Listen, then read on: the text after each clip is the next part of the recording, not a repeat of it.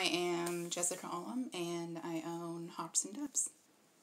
It started with a pile of feed sacks that I had been collecting. I really liked the graphics and they seemed so special when I would come across them that I would just, you know, stow them for so long. I collect all kinds of stuff, but this in particular is like I want to do something with it, but it really took a lot of guts to cut that first one, and I made a pillow. And I was like, oh, I like this pillow.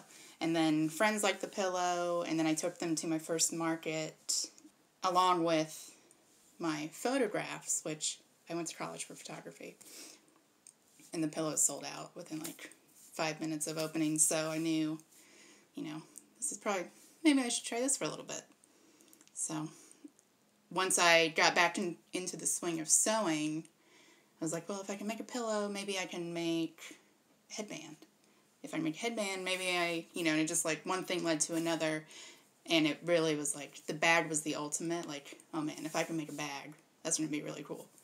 And I made my bag and I loved it and then from there it was just trying to teach myself new things and work with new materials and it's progressed pretty quick sometimes it's really hard knowing that it was somebody else's it's hard to cut it up especially you know when they have uh, like hand lettering on it. But i also feel like i found them at a flea market. Somebody has thrown them away probably. So i really like the idea of turning what is potentially somebody's trash into something now that people want to wear every day.